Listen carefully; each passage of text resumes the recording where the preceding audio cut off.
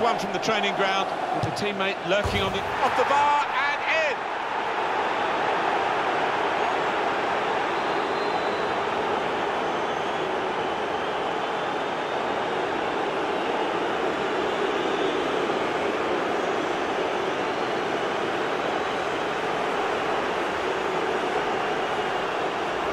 And the goal looks spectacular and is very important.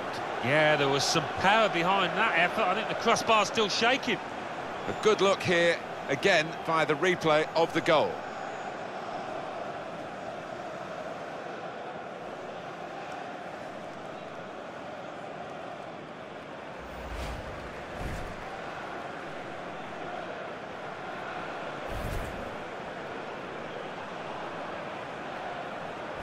Just widen the margin here.